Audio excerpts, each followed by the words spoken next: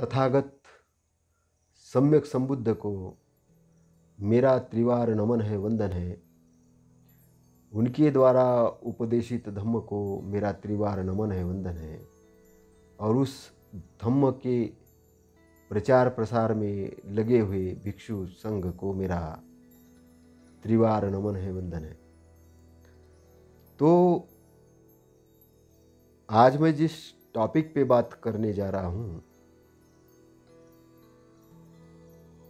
चौदह अक्टूबर उन्नीस सौ छप्पन को विजयादशमी के दिन बाबा साहब ने हमको हमारी पुरानी पहचान से अवगत कराया। भारत के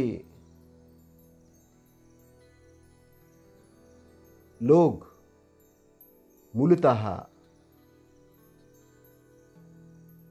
तथागत सम्यक संबुद्ध के अनुयायी थे और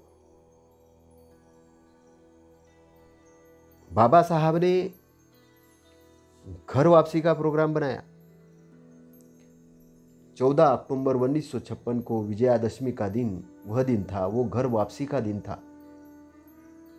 क्योंकि जो लोग भटक चुके थे वर्ण व्यवस्था के कारण, जो लोग भटक चुके थे जाति व्यवस्था के कारण, जो लोग भटक चुके थे अंधविश्वास के कारण, जो लोग भटक चुके थे छुआछूत के कारण, जो लोग भटक चुके थे ज्ञान के कारण, उन सब लोगों को एक रास्ते पर लाने का काम बाबा साहब ने आधुनिक भारत के अंदर किया। तो मैं जो आपको बताना चाह रहा हूँ कि बाबा साहब ने हमको बौद्ध धर्म की ही दीक्षा क्यों दी? उसका पहला मूल कारण था कि हम पूर्व के ही बौद्धिस्ट थे। ये तो पहला कारण है। लेकिन इससे भी बड़ा महत्वपूर्ण कारण है कि बुद्ध एक सम्यक संबुद्ध थे। सम्यक ने सही प्रकार के संबुद्ध ने बुद्ध के अंदर भी बुद्धों के अंदर में भी सम्यक ने सही प्रकार के बुद्ध हुए, जिन्होंने अपने पूरे धम्म को सुव्याख्यात किया, अच्छे तरीके से व्याख्यात व्याख्यात किया। अर्थ और व्यंजन के साथ उन्होंने हर चीज़ को बोली, हर चीज़ को कहा, और कहा ही नहीं, बल्कि उन्होंने पूरे ब्रह्मांड के लिए, ब्रह्मांड में बसने वाले प्राणी मात्र के लिए एक जीवन जीने का रास्ता बताया। क्योंकि तथागत के पहले लोग आत्मा, परमात्मा, ईश्वर, चमत्कार, दैत्यभूत और नाना प्रकार के परिकल्पनाओं में भटके हुए थे। कुछ लोग ये मानते थे कि जो शास्त्र है, वो ईश्वरीकृत है, ईश्वर ने आके लिखे हैं। कोई कुछ चमत्कार की बात करता था, कोई कुछ, लेकिन तथागत सम्यक संबुद्ध इन्होंने किसी बात को घुमाया नहीं, फिराया नहीं, जो सत्य था, जैसा था, वैसा ही कह दिया। क्योंकि उनको ये चीज़ की कोई बात की ना आंतरिक रूप से डर था, ना बाह्य रूप से कोई दबाव था, वो निष्पक्ष रूप से बात अपनी रखते थे। उनके प्रवचन के सेंटर में एक इंसान रहता था और इंसान कैसे सुखी हो, ये बात सबसे पहले उनके धम्म के अंदर में केंद्र बिंदु थी। क्योंकि इंसान, मानव जब सुशिक्षित हो जाएगा, शिक्षित नहीं, सुशिक्षित हो जाएगा, अनुशासित हो जाएगा डिसिप्लिन हो जाएगा और ये पूर्णता निर्मल हो जाएगा, शुद्ध हो जाएगा तो ऐसा प्रोग्रेसिव इंसान अपना भला तो करेगा ही करेगा। समाज का भला करेगा, रिश्तेदारों का भला करेगा, देश का भला करेगा, विश्व का भला करेगा। इसलिए एक इंसान को गढ़ने का काम, सही रास्ते पर लाने का काम और सही ज्ञान देने का काम तथागत सम्यक संबुद्ध ने किया। और वो क्यों कर पाए? क्योंकि वो एक विद्वान थे। वो सामान्य विद्वान नहीं थे, विद्वानों में भी महाविद्वान थे। उनको बुद्धि की ललक, ज्ञान लेने की ललक बचपन में ही थी।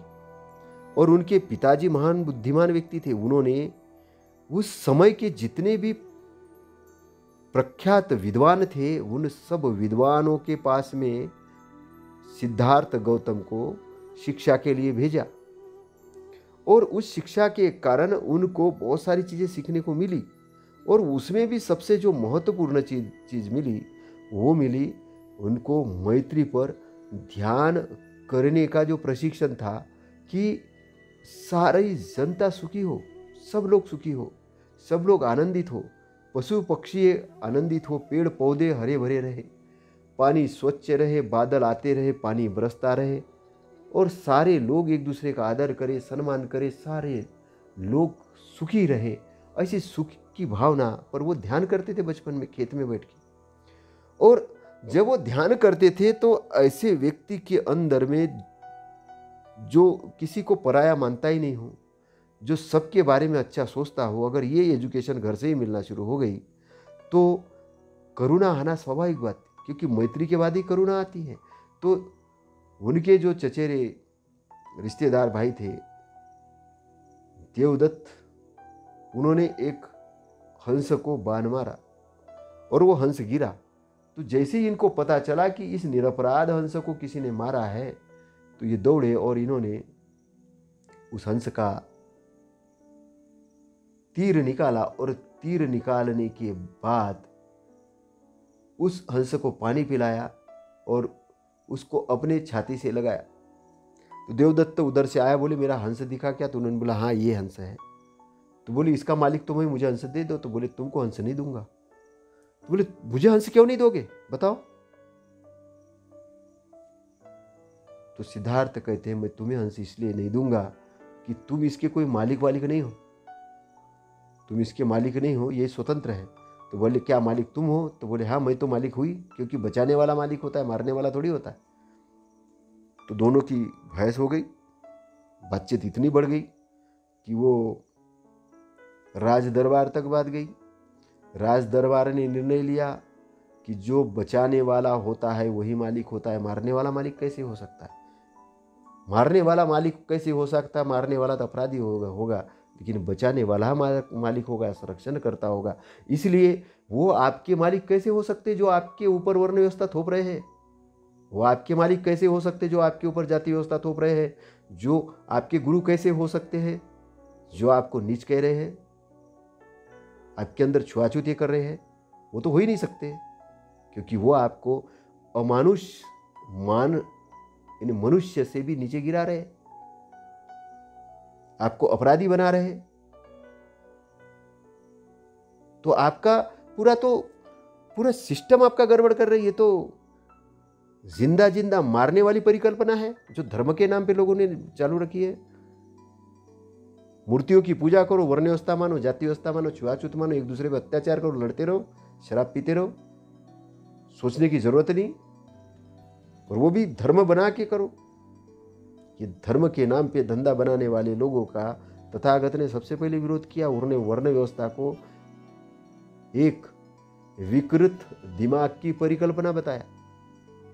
वर्ण व्यवस्था को विकृत दिमाग की परिकल्पना बताया और जिन लोगों ने वर्ण व्यवस्था के सपोर्ट में साहित्य लिख के रखे हैं, उनको मानसिक विकृत व्यक्ति बताया क्योंकि जब मन मार के एरिया में, अकुशलता के एरिया में चला जाता है, तब वो हाईजेक हो जाता है। और हाईजेक हो जाता तो मार वाला एरिया है, उस आदमी का दुरुपयोग करता, उपयोग नहीं, दुरुपयोग करता है। और उसको ऐसा लगता है कि कितने लोगों को पीड़ा दूँ, कितने ये करूँ, बस उसका स्वार्थ रहता तो वो अपने आसपास एक टोली बना लेता है।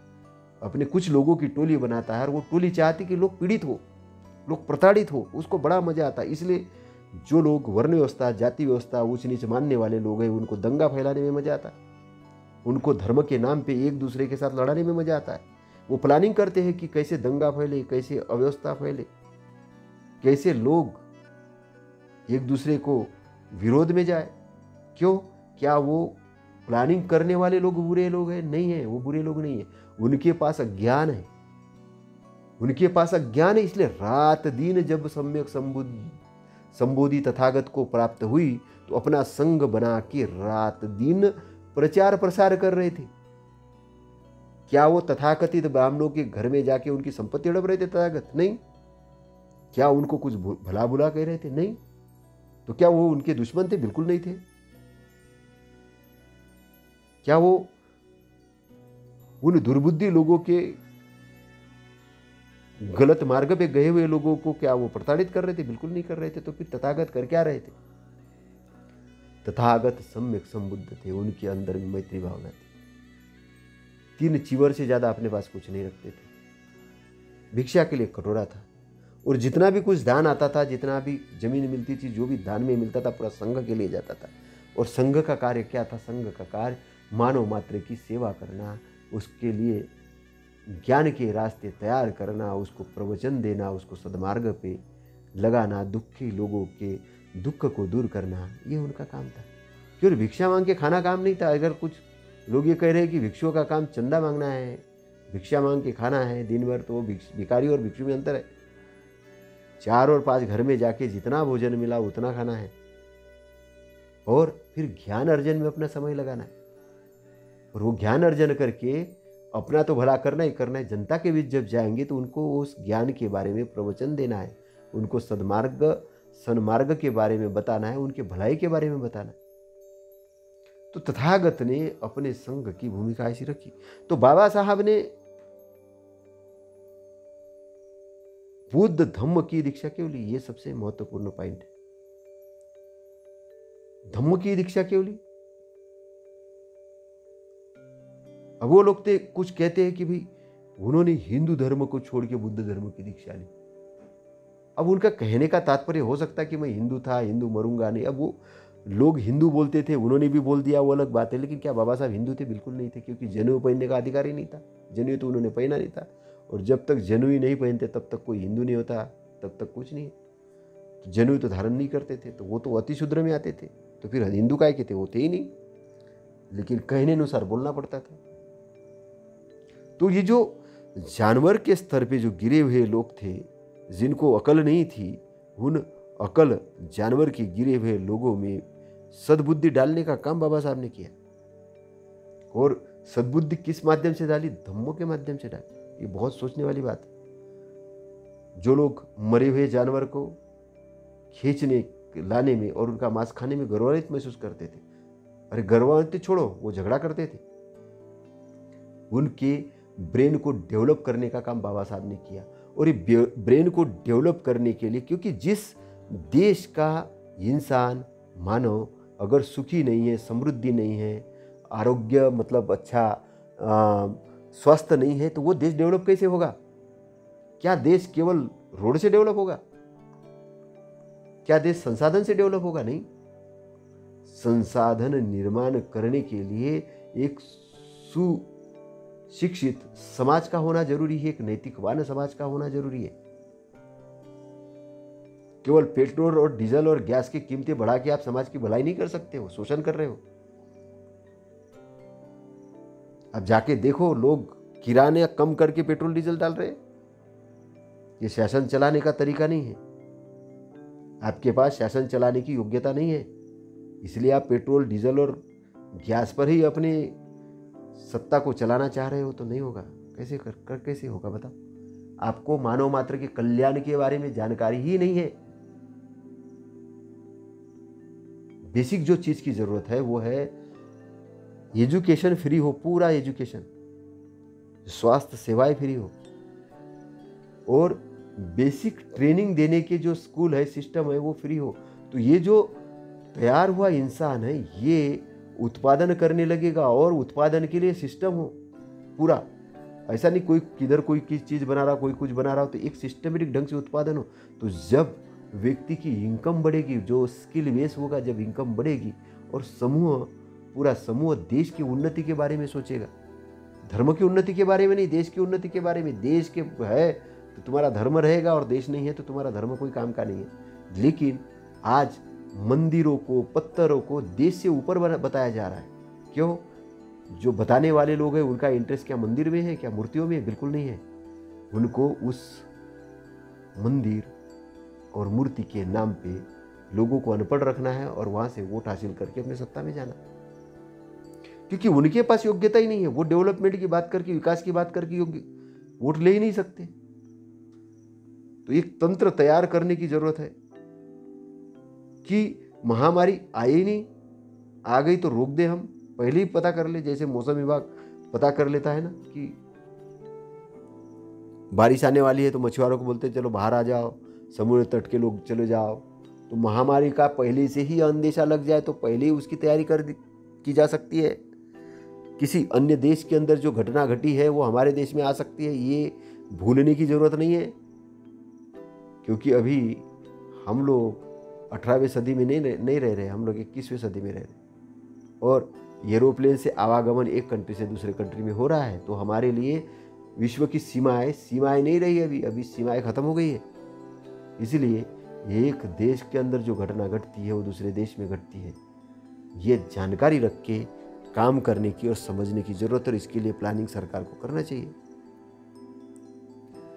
तो सरकार ने इस कोरोना के पीरियड के अंदर में जो प्राइवेट मजदूरी कर रहे थे, जो प्राइवेट छोटे दुकानदार थे, हाथ ठेला लगाने वाले थे, इनके लिए विशेष पैकेज की लागू करने की ज़रूरत थी। लागू नहीं किया, कितने लोगों को पैसा दिया, क्यों नहीं दिया? और उतने समय के जो मकानों के लोन है, व्हीकल के लोन है, उसको माफ़ करने की ज़रूरत थी, लेकिन नहीं कर पाए। क्यों नहीं कर पाए? पता नहीं। क्या इनका मैनेजमेंट कमज़ोर है? पता नहीं। सोचने वाले विषय है, समझने वाली बातें। तो बाबा साहब को ये पता था कि इस देश के इकोनॉमिक लेवल इधर उधर आने वाले समय में होगा। ये बाबा साहब को बिल्कुल पता था। इसलिए बाबा साहब चाह रहे थे कि इस देश के अंदर एक बुद्धिजीवी वर्ग निर्माण हो। ये बुद्धिज्म देने के पीछे कारण था।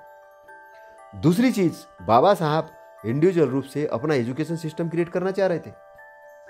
एजुकेशन केवल शैक्षणिक एजुकेशन नहीं भिक्षुओं के लिए भी एजुकेशन सेंटर खोलना चाह रहे थे। उसके लिए उन्होंने टेन पॉइंट प्रोग्राम दिए थे और टेन पॉइंट प्रोग्राम के अंदर में जो महत्वपूर्ण तीन, चार, पाँच प्रोग्राम है, उसमें एक चिकित्सक का भी प्रोग्राम है। चिकित्सालय भी खोलना चाह रहे थे वो।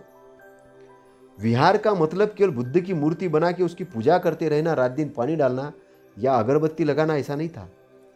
विहार का मतलब था कि एजुकेशन सेंटर बनाना, नालंदा तक्षशिला के जैसे। नालंदा तक्षशिला के राह पर, जिसमें आप स्कूल ओपन कर सको, उसमें हॉल हो, लाइब्रेरी हो, और सभी धर्मों की किताबें उसमें कंपेरेटिवली स्टडी हो मेडिटेशन सेंटर हो, खेल के लिए अलग ये हो रिसर्च सेंटर हो, और बच्चों को विज्ञानवाद की बचपन से ही तैयारी करवाई जाए, भिक्षुओं को ट्रेनिंग दी जाए तो ट्रेन करके उसके बाद में उनकी और भी एक ट्रेनिंग का वहाँ पे ये था और वो था कि राजनेता जो राजनीति में जा रहे उनको भी नैतिकवान बनाया जाए। कि विधानसभा लोकसभा के अंदर में किस प्रकार के क्वेश्चन उठाना है क्या नहीं उठाना है कैसे बोलना है क्या तैयारी करना है सारी चीज़ का एक ए, ए, ए से लेके जेड तक का एजुकेशन सेंटर खोलना चाह रहे थे। तो वहीं पर उसी सेंटर के अंदर में शारीरिक खेल शारीरिक खेल है कराटे है कुंकू है सारी चीज़ों का उसका मल्टी मल्टीटास्किंग प्रोग्राम था। तो बाबा साहब का बुद्धिज्म देने के पीछे एक और उद्देश्य था और वो था इंटरनेशनल लेवल पे जो बुद्धिस्ट कंट्री है, उनके साथ एक अच्छा संबंध स्थापित करके भारत को एक बलवान भूमिका में क्रिएट करना, एक बहुत महाशक्तिशाली बनाना।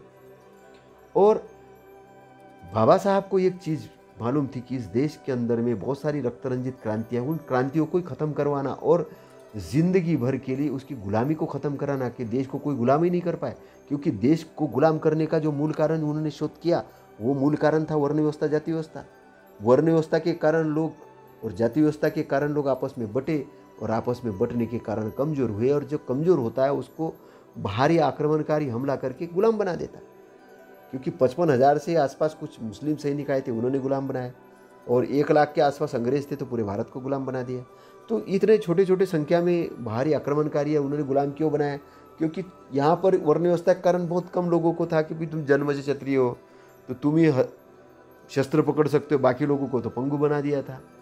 एजुकेशन बोले, इतने ही लोग एजुकेशन ले सकते, बाकी तो तुम कृषि करो, ये करो, तेल निकालो, ये सब्ज़ी बाजी वाला होगा, बस ये काम करो सेवा चाकरी काम करो। तो ये जो बेड़ व्यवस्था थी जो गलत मेंटेलिटी के लोगों ने डेवलप की थी उस व्यवस्था को ही ख़त्म करने का काम बाबा साहब कर, करना चाह रहे थे। और इसलिए उन्होंने जो संविधान की जो ड्राफ्टिंग की कॉन्स्टिट्यूशन की ड्राफ्टिंग की इसीलिए आर्टिकल थर्टीन डाल के ये सब धर्म ग्रंथ जो अव्यवहारिक थे जो लोगों को पीड़ित कर रहे थे वर्ण व्यवस्था का निर्माण कर रहे थे जाति व्यवस्था का निर्माण कर रहे थे डिस्क्रिमिनेशन कर रहे थे महिलाओं को पीड़ित कर रहे थे बाल विवाह की प्रथा का समर्थन कर रहे थे। सारी चीज़ों का उन्होंने आर्टिकल थर्टीन डाल के सबका ये एक लाइन में ख़त्म करने के बारे में बोल दिया कि ये मानना ही नहीं है। जो आपके, जो फंडामेंटल राइट है, इसको कम किया ही नहीं जा सकता, ना उसको ख़त्म किया जा सकता। फंडामेंटल राइट को संरक्षण करने का काम सुप्रीम कोर्ट का है, इसलिए न्यायपालिका को स्वतंत्र करने की बात बाबा साहब ने कही। लेकिन हुआ क्या कि क्या कॉन्स्टिट्यूशन ढंग से लागू हो पाया? नहीं। क्योंकि बाबा साहब जो समाज की रचना करना चाह रहे थे, बुद्धिज्म देने का मतलब एक डेमोक्रेटिक रूप से समाज की रचना करना, तैयारी करना, क्या ऐसा हो पाया? बिल्कुल नहीं हुआ। लेकिन प्रोसेस जारी है। प्रोसेस जारी है। अगर ये समाज व्यवस्था अगर ढंग से नहीं सुधरती तो संवैधानिक रूप से काम कैसा होगा? यहाँ तो लोग मूर्ति के नाम पे, मंदिर के नाम पे, मस्जिद के नाम पे, इसके नाम से वोट देते। और नेता धर्मगुरु बनता है और नेता धर्मगुरु बनते मंदिर की बात करता है, धर्म की बात करता है। अरे तुमको धर्मगुरु बनो फिर, राजनेता क्यों बन रहे हो? राजनेता बनो, राजनीति की बात करो, लोगों कल्याण की बात करो, शिक्षा की बात करो, स्वास्थ्य की बात करो, रोड की बात करो, और जो काम तुम्हें धैर्य है वो काम करो। लेकिन अपना काम छोड़ के दूसरी तरफ़ हो गए। बोले, हम तो मंदिर के पुजारी है, लेकिन सांसद बन गए। और वहाँ जाके घंटी हिला रहे। घंटी हिलाने का काम थोड़ी है संसद के अंदर संसद के अंदर में वो काम नहीं है। संसद के अंदर में लोक कल्याणकारी योजनाओं के लिए बजट सैंक्शन करना, लोगों के दुख दर्द को समझना, समाज सेवा करना, इसके लिए है। विधानसभा, लोकसभा, इसके लिए थोड़ी है। इसके लिए थोड़ी आपको अंधविश्वास फैलाने के लिए। तो भारत का नवनिर्माण करने के लिए बाबा साहब ने बुद्ध धर्म की दीक्षा दी और मैत्री संबंध स्थापित करना चाह रहे थे विश्वव्यापी। लेकिन इससे भी बड़ी एक चीज़ है कि तथागत ने जो अपने धम्म का जो ऑब्जेक्ट रखा, वो इंसान रखा और इंसान सुखी कैसा हो, दुख से मुक्त कैसे हो? उन्होंने कहा, दुख है, दुख का कारण है, दुख का निवारण निवारण का मार्ग है। यही मेरा धम्म है। यही मेरा धम्म है कि दुख का खत्म करना। तो लोगों को सुखी करना, ये इसके पीछे का ऑब्जेक्ट है। लेकिन जिनके धंधे गायब हो रहे थे तथागत के उपदेश से, वो विरोधी हो गए। उन्होंने बोला, अरे, इनके कारण तो हम नैतिकवान बनने के लिए आगे बढ़ना पड़ रहा है, लेकिन तथागत जानते थे। कुछ जगह उन्होंने स्वतंत्रता भी दी है, कुछ जगह उन्होंने स्वतंत्रता भी दी है। तो तथागत के ऊपर शोध होने की ज़रूरत है इस देश के अंदर में। क्योंकि हम चाहते हैं कि ये देश की जीडीपी बढ़े। हम चाहते हैं कि ये देश का नागरिक प्रबुद्ध हो। हम चाहते कि महँगाई नीचे, निचले लेवल पे हम चाहते कि लोगों का उत्पादन बढ़े, लोगों के पास पैसा है, लोग समृद्ध हो। हम चाहते कि चोरियाँ कम हो। चोरियाँ हो ही नहीं, हम चाहते कि बलात्कार हो ही नहीं। महिलाओं पर हम चाहते कि जो अशांति का माहौल ख़त्म हो। हम चाहते कि सब चारों तरफ़ एक दूसरे का सम्मान करें। तो बुद्धिज्म के बेसिक को समझना होगा। संविधान का बेस ही बुद्धिज्म के बेस पर है। समानता, मैत्रित्व, बंधुत्व और न्याय पर आधारित संविधान है। हम लोग भारत के लोग भारत को प्रभुत्व संपन्न गणराज्य बनाने के लिए, गणराज्य मतलब एक दूसरे के सलाह मशविरा लेकिन आज लोग बोल रहे नहीं नहीं नहीं नहीं, हमको सलाह मशविरा की ज़रूरत नहीं, हमको अकेले ही अकेले ही चला सकते, पूरा देश कैसे चलाओगे भाई? क्या चलाओगे? आपको इतना दिमाग कैसे आ गए आप सारा सिस्टम कैसे कर सकते हो? नहीं कर सकते, इसलिए संगठन की ज़रूरत है। इसलिए थोड़े बहुत व्यापारियों के नाम से सरकार चलाने से अच्छा है, जनता के लिए सरकार चलाओ, क्योंकि लोकतंत्र का मतलब जनता ने जनता के लिए चलाई हुई सरकार होता है। जनता के लिए व्यापारियों ने चलाई हुई सरकार नहीं होता है, या जनता के लिए धार्मिक लोगों ने चलाई हुई सरकार नहीं होती, एक नैतिकवान अच्छे लोगों के द्वारा जनता के भलाई के लिए चलाई हुई सरकार होती है। तो हमको आने वाले समय में संविधान की सुरक्षा के लिए, संविधान को लागू करने के लिए, देश की एकता, अखंडता बरकरार रखने के लिए और शांति के लिए और ये प्रोग्रेसिव राष्ट्र बनाने के लिए, वर्ण व्यवस्था, जाति व्यवस्था, समाप्ति करने के लिए आगे आके काम करना पड़ेगा और राजनीति के अंदर में खुलकर भाग लेना पड़ेगा। राजनीतिक जो छोटी छोटी पार्टियाँ हैं, वो छोटी छोटी पार्टियाँ लेकिन है संविधान को मानने वाली पार्टियाँ, संविधान को मानने वाले जो लोग हैं, जो समानता, बंधुत्व, न्याय आधारित व्यवस्था लागू करना चाहते हैं, ऐसे लोगों को इकट्ठा आकर आने वाले चुनावों में अपनी सक्रिय भागीदारी दिखानी होगी।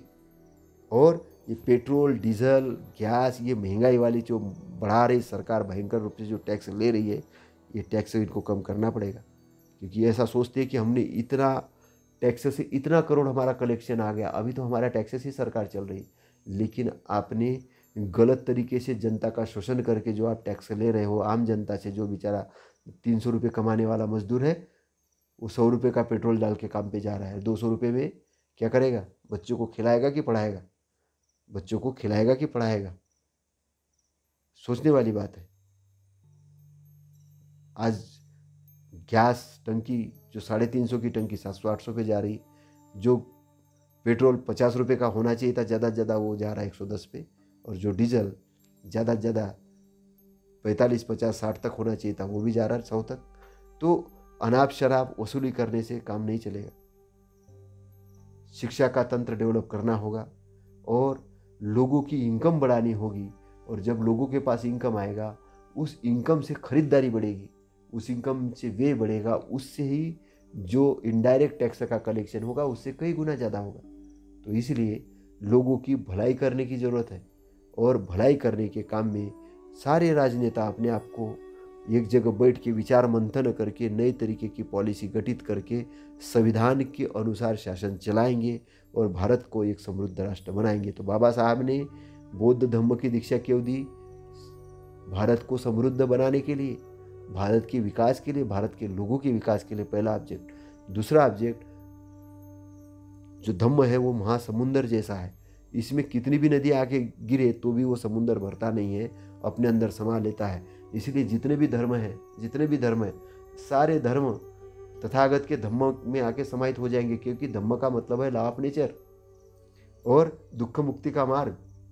तो यहाँ पे कोई भी व्यक्ति अगर अच्छाई का व्यवहार करेगा तो सदगति पे आएगा और सदगति पे आने के कारण उसकी दुख से मुक्ति होगी होगी। ये तथागत का सुपर पावर नॉलेज है। इसीलिए तथागत महागुरु है विश्व गुरु है और भारत की सोने की चिड़िया सम्राट अशोक के समय में भारत था। सम्राट अशोक ने भारत की जीडीपी जो थी, इक्कीस इकतीस परसेंट के लगभग थी। आज तो माइनस तेईस और अभी थोड़ी सुधर रही है, लेकिन उस समय थर्टी वन परसेंट जी थी। तो भारत को प्रोग्रेसिव राष्ट्र बनाना, भारत की उन्नति करना, भारत की उन्नति का मतलब भारत के अंदर रहने वाले नागरिकों की उन्नति। उनको उन्नति के लिए क्या क्या लगेगा? शिक्षा, स्वास्थ्य, अनिवार्य फ्री शिक्षा और शास्त्र। और स्किल बेस रोज़गार स्किल बेस जो प्रशिक्षण फ्री ये तीन चीज़ें फ्री अगर करते हैं और वैज्ञानिक दृष्टिकोण निर्माण करने के लिए विभिन्न चैनलों से विभिन्न लोग, विभिन्न प्रवचन कार्य काम करें और उन मूढ़ लोगों के सभा संगत में जाना बंद करें कि जो कल्पना आश्रित है, जो मूड बनाते हैं, जो फालतू की चीज़ें बोलते हैं, उनको साधु संत मानने की ज़रूरत नहीं है। इसलिए अपना डेवलपमेंट करो, आपका मालिक आपके अंदर में है, आप अपने आप को सशक्त बनाओ और लोगों को सशक्त बनाने के लिए काम करो।